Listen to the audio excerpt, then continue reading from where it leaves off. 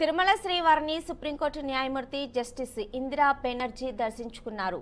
VIP విరామ సమయంలో కుటుంబ సమేతంగా స్వామివారి సేవలో పాల్గొని మొక్కులు చెల్లించుకున్నారు. అనంతరం రంగనాయకుల మండపంలో వేద పండితుల వేద ఆశీర్వచనం అందించగా ఆలయ అధికారులు పట్టు వస్త్రంతో సత్కరించి స్వామివారి తీర్థ ప్రసాదాలు అందజేశారు.